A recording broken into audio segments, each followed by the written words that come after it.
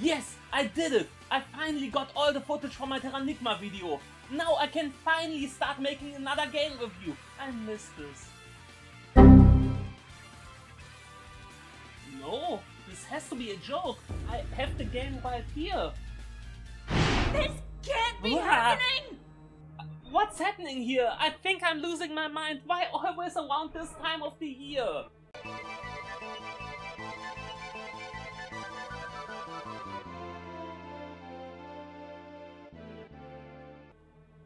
Well, I said I will talk about one of the best games ever made, and this slight mental breakdown will not stop me from this, so... Eternal Darkness. Not only one of the best games ever made, it is also one of the incredible few, genuinely terrifying games. And also, in a way, no other game since then ever did. But first, we have to talk about what makes a scary game scary. There are games which give you the illusion of horror by solely relying on something like cheap jump scares. And these games are dumb, and I don't like them. It is not horror or even spooky if you scream into my ear. Of course you get a reaction out of people if you do this.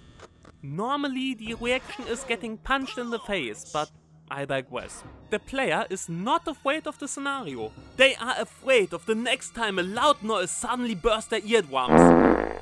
These games have not earned the title horror. I hate these in movies as well as in games. It is just a cheap way of emulating uneasiness in situations where they flat out fail to produce genuine horror. And I can also say, this game is the only example I have ever seen a jump scare worked. But I will talk about this a bit later. Other games and a lot of bad movies rely on gore. Oh look, something bloody and disgusting happened. I bet this makes you feel uncomfortable. No shit, Sherlock. The threat of pain is scary, but it is not the sort of scary you expect from an interactive medium like a game. Really scary games explore things like psychological horror and the uncanny valley. It makes you question if you should take one more step into the unknown. They give you a mystery, and you know answering the mystery will end up bad for you, but you just have to know. The question being unanswered is as terrifying as the answer itself. Heck, sometimes it's even more unsettling. Fantastic horror games don't rely on scaring the characters in the game, but the one playing it. That's why only a few games deserve the title horror games. A few examples are Silent Hill, I Have No Mouth and I Must Scream, and even something like Dead Space. So, what it is in this game that just works? Well, to answer this, we have to take a look at the game. What are some of the first images you imagine if someone mentions Nintendo? One of these things is not like the others. Which one is different? Do you know? Yeah, what is Yoshi's story doing here? Stupid horse. Jokes aside, this was Nintendo's first M-rated game, and it is a damn shame they forgot about it. I will just let the narrator explain the story. Flesh.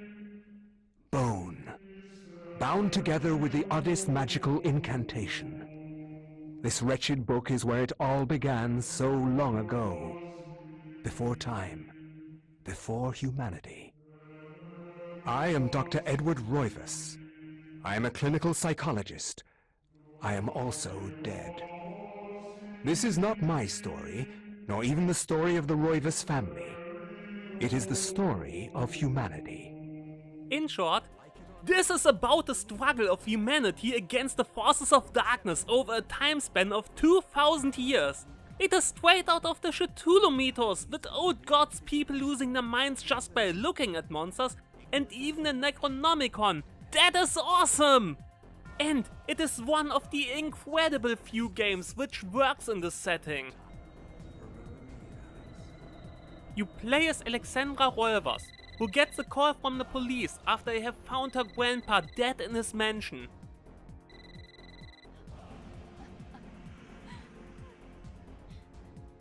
It's my job, lady. You're the only living relative, and no, we can't check dental records. There's no head, Ah, none of this makes sense. Lost his head, so it was probably old age. The police investigation isn't going forward, so Alex decides to investigate on her own and searches the building. A horror game in the mansion. I have never heard that one before. This is the game's subworld. While searching what happened to your grandpa, you have to solve puzzles to open up new parts and find all sorts of items, story bits, and nightmare fuel.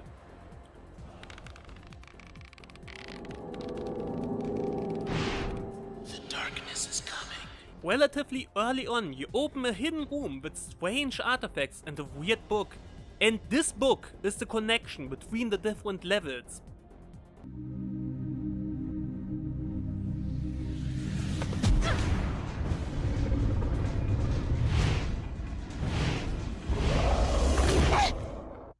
I was once a fool. In a beautiful scene where they switch from Latin to English mid-sentence, you learn about a legionnaire named Pius Augustus.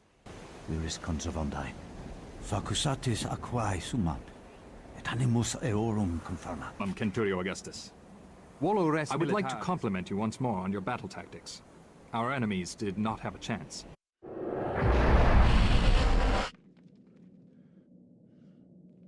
This is the tutorial of the game. After a few easy puzzles,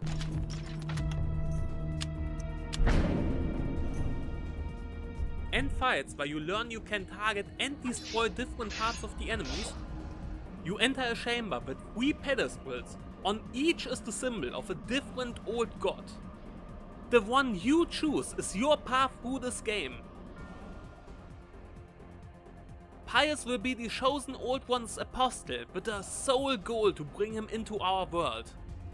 This gives you three different ways to play this game, with different enemies, bosses and even difficulty. The difficulty comes mainly from the magic in this game, and it is awesome! It's not like any other system I have ever seen. You need a lot of things in order to use it in the first place. You have to find runes, a codex to translate the runes, a circle of power to place the runes, and the spell scroll which tells you what runes work together. Then you have to align the spell with one of the gods. As an example, you have just found a spell to heal a stat. If you align it with the red god, it will increase your health bar. All enemies have an alignment as well.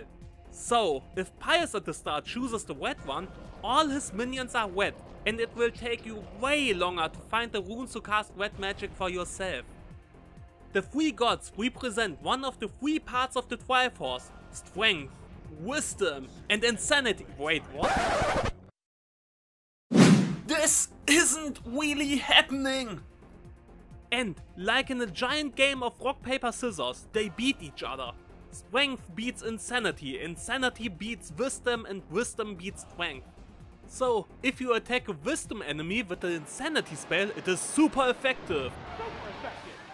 There is even a hidden fourth essence you can gain which is strong against everyone. Yeah, the magic system is awesome. You can even try out combinations of runes to get spells before you find the scroll. The gameplay consists of searching the mansion for new pages of the book. No, not those pages. Playing the stories from the different characters, learning about the unknown, and finding a way to stop Pius at the end with the collective efforts of a dozen characters over 2000 years. In each chapter you learn something new which helps you explore the mansion further. Like here, in the last story you had a puzzle with candles, and after a chapter is over, Alexandra can now interact with the same puzzle to get a new item. Yeah, sounds interesting, but why is this one of the best horror games ever made? Well, two things. The first is the patented and never again used sanity system of this game. If your character witnesses something horrible, they lose sanity. If an enemy is just looking at you, it ends up with you going insane. And this is where the fun starts. It starts with rather harmless stuff, like seeing blood whip off the walls or hearing voices.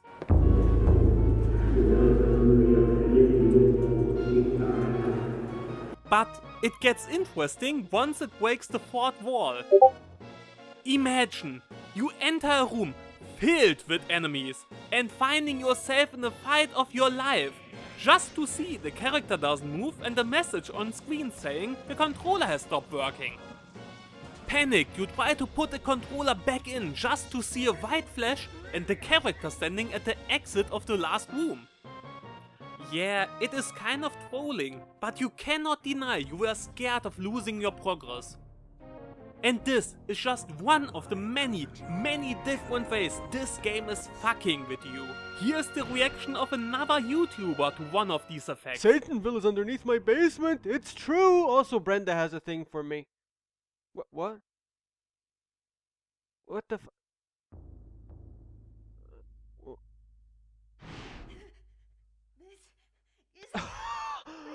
Oh my god! That confused the fuck out of me. I thought I had. I could have sworn that I had bought the game. The first time I witnessed such a scare, if I had a lump of coal up my ass, it would be a diamond at the end of it. This is just an unbelievable way of scaring a player. You aren't afraid of what happens to the characters in the story. However, many characters have a terrible fate. You are afraid what the game has in store for you, the player.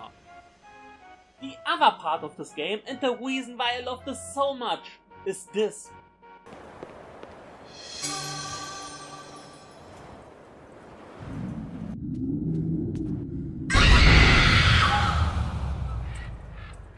I know, I know, I already said I hate jump scares.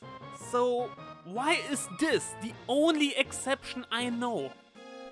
Well, this scene happens relatively early in the game and it is completely optional. It only happens if you investigate the bathtub. In a game where you are encouraged to investigate every nook and cranny. But this wouldn't make it good. The genius of this is, it is the only jump scare in the entire game. But you don't this at this point. So, after you just had this, you immediately think, oh, it's one of these games. And from this point on, you are just paranoid about getting another jump scare. And it never comes. This is just beautiful. It is screaming suspense, like the bomb under the table that will not explode. And this is not a short game. One playthrough is about 14 hours long. So, having this mindset after half an hour and nothing happens for the entire time has an effect on you, unlike any sheep scare will ever have. During the story, you learn what happened with your grandpa, as well as how to stop Pius. He had 2000 years prep time, and to stand a chance, you need all the other essences. As well as having to enter a giant hidden city. You use the whole city as a magic circle to summon the god who is his superior rival.